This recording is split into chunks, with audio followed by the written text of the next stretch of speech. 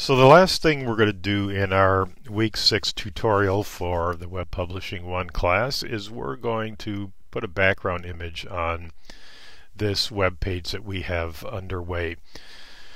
So where we last left it, we had created a wrapper and we had done a couple of things. So here's our style sheet, here's our actual HTML.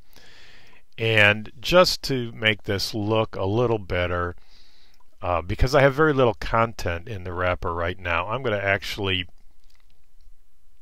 give it a height so it takes up more space on the page and as I said it's going to make the um, what we're going to do with an image um, make more sense when we have more to work with. Um, as you add comment to the page that'll naturally start to get bigger, add content to the page. Um, yeah, you know, actually, I think I'll even go back and make it 600 pixels. So,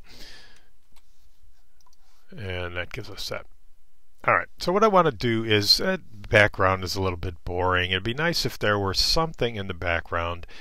And if you watch the tutorial on optimizing images for the web, you could of course um, make your own images um, by taking selections from photographs or you could create patterns in Illustrator or there's a number of things you could do. And if you want to do that feel free. Um, I'm going to show you another thing that might be something you want to think about which is uh, there are a lot of sites online where you can download background images for free. They're often called background tiles but a lot of them are really really cheesy and actually a lot of the sites are filled with advertising and they're really annoying.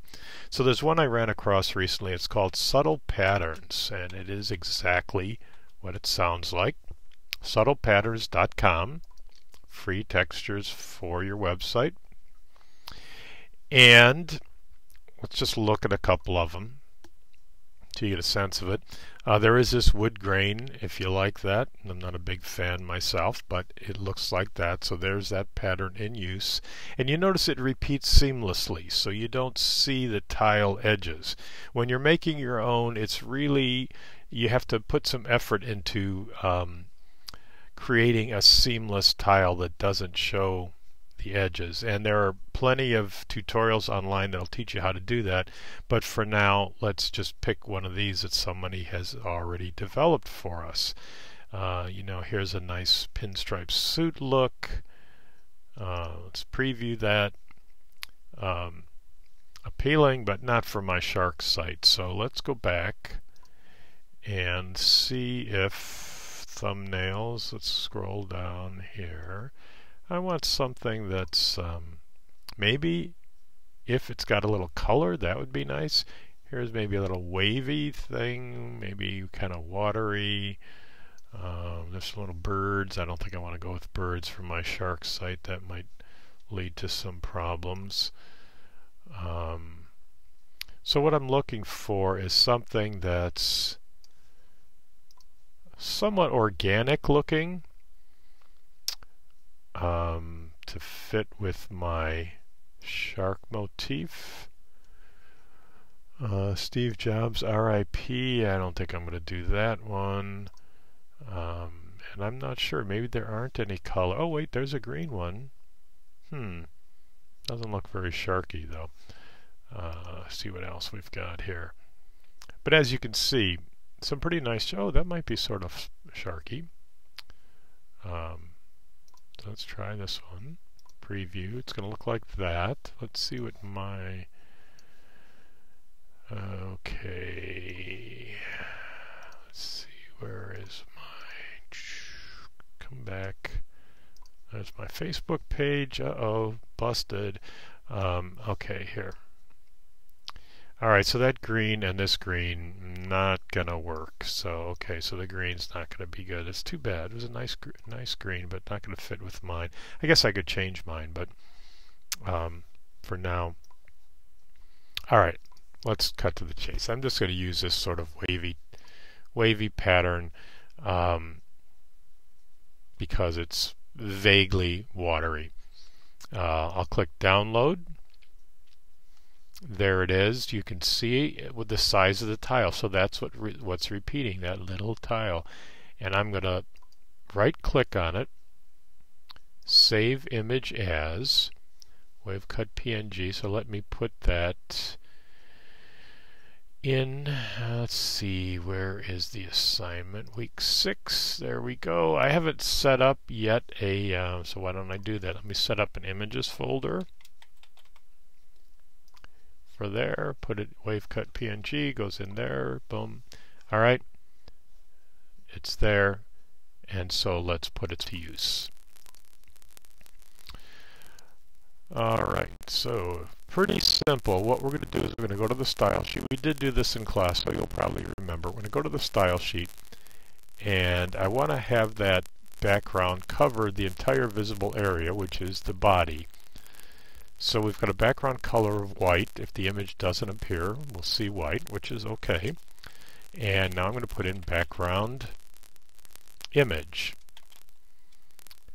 and colon, and then we do URL because we're going to give it a path to find that image. And then in parentheses, that's where we put the path. So if I go back to my site here,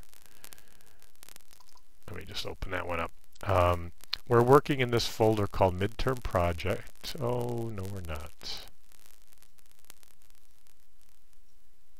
Yes, we are. Yeah, we're working on this project called Midterm Project. Um, okay, and there we are, Images folder. So, I'm on the index page here in the folder called Midterm Project. Uh, right now, my Images folder is outside of that, which really doesn't make sense. It should be in here. So let me do that. That's where it ought to be. Come on, get in there. Okay. So now I have in my midterm project, there's my template that I used to start with. There's the index file itself. There's the style sheet, and now I have my images folder. Okay, so that's good. So the path name, we are here at the style sheet, and we want to get here so that what I'll do is I'm going to do what I would suggest you do, which is do a cut and paste. Select that, or copy and paste rather. Um, paste that in there. And if you're paying attention you know that's not going to work because that file is inside a folder called images. So my path name actually needs to be images. Wave cut and I'm going to use the single quote marks to set that off. I think those are optional but it's the way I've learned to do it, and so I'm going to stick with it.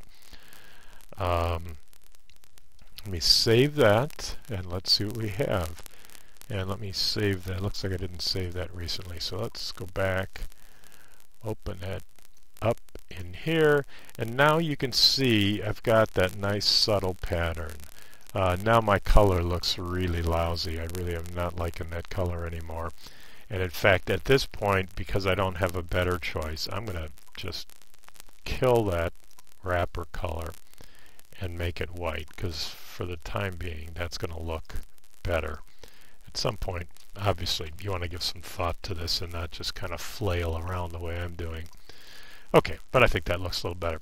So that's a background image. That's it. That's all there is to it. Um, if you're using a tiling image, a small image, it's going to repeat automatically.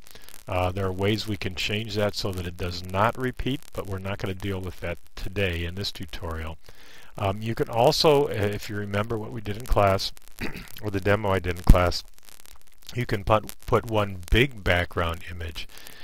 That's a little bit trickier just because you have to deal with that issue of the image size so that you don't want to get a humongous image size. And obviously a big background image tends to be a large file size. So um, I would suggest to start off with you try and do background tiles, either ones that you find online that are free to download, um, or if you want to learn how to make your own, I would try this. Um, let's see, what we want to do is find a tutorial background tile Photoshop Uh, here's first one comes up, seamless repeating tile background. Um, and let's see what this one looks like. I'm not liking that site. It seems to have a lot of advertising on it, which is usually the kind of thing I want to stay away from. So hmm, that's not working so well. Download package. Okay, well here we go. Step one. There it is. Okay. Yada yada yada. So that might be worth. Um, the other thing that might also be good if we went to YouTube, might even be a better way to find this.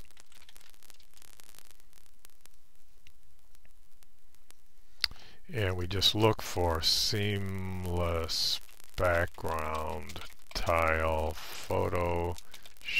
I suspect we'll get a few possibilities with that. Um, here's one, it's a two minute tutorial. That seems pretty good. Here's one that's five minute tutorial. So if you want to try to make your own, check out, here's a seven minute one, four minute one. So you can see these are all fairly short, so it's not too tough.